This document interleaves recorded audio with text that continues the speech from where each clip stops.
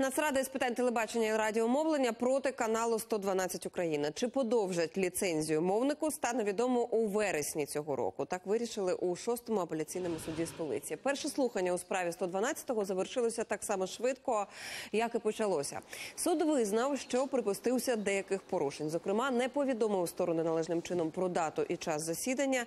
До того ж, двоє суддів взагалі не з'явилися на розгляд справи. Тож юристи каналу написали заяву про перенесення дати засідання Вирішили, що зберуться знову 10 вересня. Надсовет мог бы, э, соблюдая закон, э, рассмотреть этот вопрос.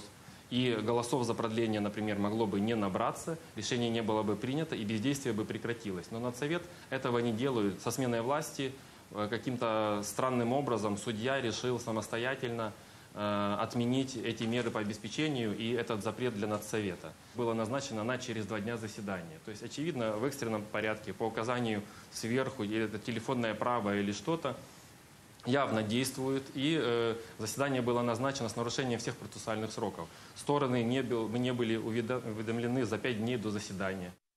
Напади на канал 112 Україна прокоментували навіть у Європарламенті. Один із його представників Нейтан Гіл висловив занепокоєння тиском на свободу слова в Україні і закликав президента втрутитися. До того ж, євродепутат наголосив, країна, яка прямує в ЄС, має дотримуватись європейських конвенцій. Забирати ліцензію в телеканалу, особливо в одного з найбільших в Україні каналу об'єктивного. Гадаю, це неправильно. Йому треба зрозуміти, що ЄС та Захід дуже занепокоєні. Це не поведінка президента країни, що хоче вступити в ЄС. Тому що коли країна прагне вступити в ЄС, вона має сприяти свободі слова і свободі преси, а не вчиняти спроби забрати ліцензії.